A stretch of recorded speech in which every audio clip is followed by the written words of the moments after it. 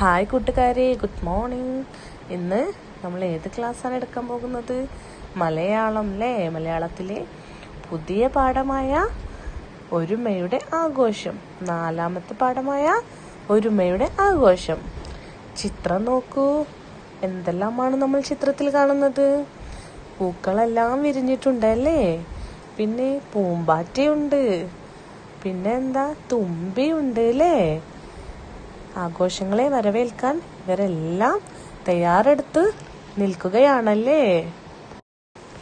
തെച്ചി പോത്തു കണ്ണാന്തളിയും കാക്കപ്പൂവും വിരിഞ്ഞു പിച്ചിയും ജമന്തിയും ചെമ്പകവും വിടർന്നു എങ്ങും പൂമണം പരന്നു പൂമ്പാറ്റകൾ പാറിപ്പറന്നു വണ്ടുകൾ മൂളിപ്പാട്ട് പാടി ഓണം വരവായി.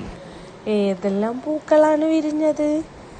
തെച്ചി കണ്ണാന്തലി കാക്കപ്പൂവ് പിച്ചി ജമന്തി ചെമ്പകം.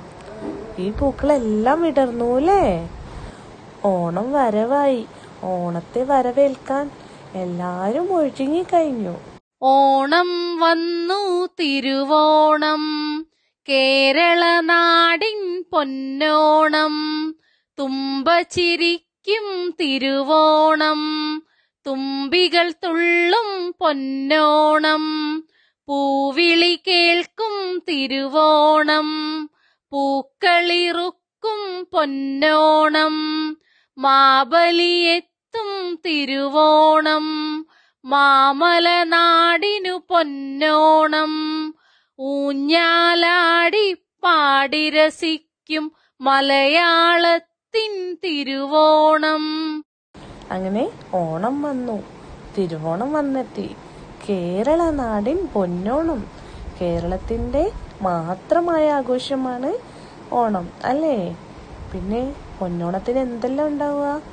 തുമ്പ ചിരിക്കും തുമ്പികൾ തുള്ളും പൂവിളി കേൾക്കും പൂക്കളിറുക്കും മാബലി എത്തും. ആരാണ് മാബലി?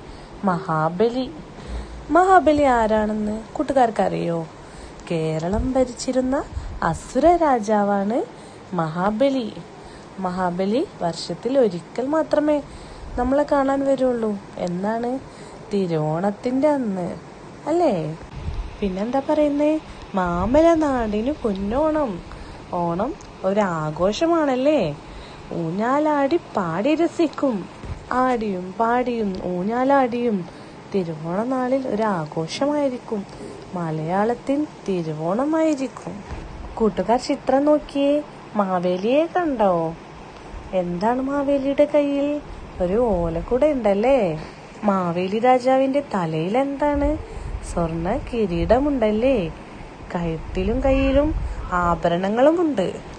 ചിങ്ങമാസത്തിലെ തിരുവോണ നാളിൽ മഹാബലി ജനങ്ങളെ സേവിക്കാൻ എത്തുമെന്നാണ് കേരളീയരുടെ വിശ്വാസം.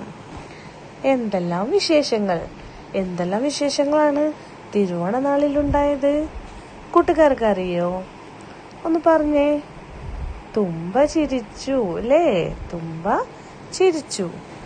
പിന്നെന്തെല്ലാമാണ്? തുമ്പികൾ തുള്ളി.